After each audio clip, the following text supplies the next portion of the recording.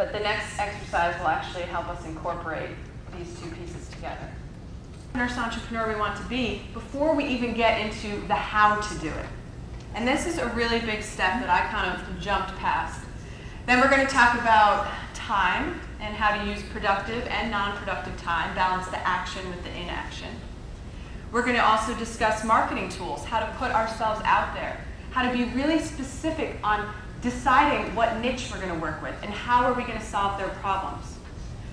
We're also going to speak to social media, which can be daunting in and of itself, and I'll tell you a little story about that when we get there, but it's, it is our friend, and that is a way for ourselves to get ourselves as our nurse entrepreneurs out there, or if we don't want to be a nurse entrepreneur, to get the nursing profession out there in a positive way. So healthcare is such an ever-shifting environment.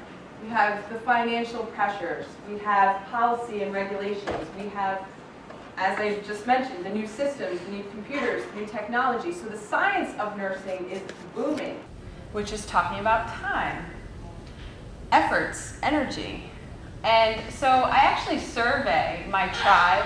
I survey the nurses on my email list, my social media followers, all these kinds of people I interact with in my business. And I ask them a question every year, and I ask, what's the number, number one thing getting in the way of your own self-care? What do you think that people say? Ah, perfect. Everybody said it.